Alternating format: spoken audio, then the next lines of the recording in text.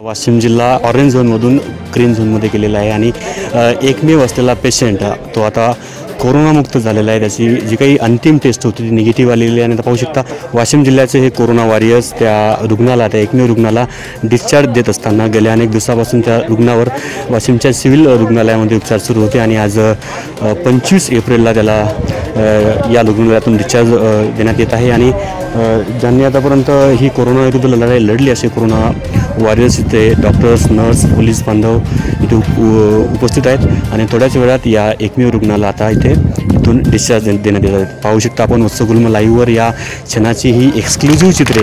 गेल्या अनेक दिवसापासून शहरामध्ये लॉकडाऊन सुरू होतं आणि या लॉकडाऊनच्या पार्श्वभूमीवर एकमेव असलेला हा कोरोनाग्रस्त आज पूर्णपणे कोरोनामुक्त झालेला आहे. आणि जिल्ह्यासाठी एक- निश्चितच ही एक आनंददायी एक हा एक क्षण म्हणावा लागेल.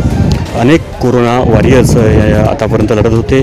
जिल्हा प्रशासन असेल पोलीस प्रशासन असेल पत्रकार बांधव असतील आरोग्य यंत्रणा असतील या सर्वांनीच अहोरात्र मेहनत करून जिल्ह्याला कोरोनापासून दूर ठेवले होते. परंतु एकमेव असा कोरोना बाधित जिल्ह्यात आल्याने जिल्ह्याचं रूपांतर ऑरेंज झोनमध्ये झालं होतं आणि पुन्हा एकदा जिल्हा आपला आता ग्रीन झोनमध्ये गेलेला आहे.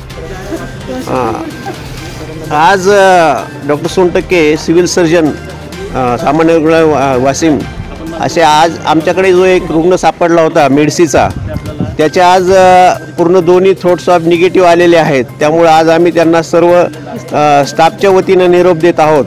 आणि हा पहिला रुग्ण आणि शेवटचा रुग्ण ठरवू हा वाशिम जिल्ह्यामध्ये अशी आम्ही या या ठिकाणी इच्छा करतोय व्यक्त करतोय.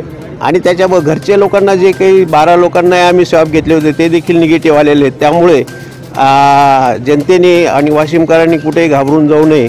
फक्त लॉकडाऊनच्या सगळ्या जे नियम आहेत ते परत एकदा आपण सगळ्यांनी शिस्तीने पाळावे अशी मी या निमित्त सर्वांना जाहीर आवाहन करतो.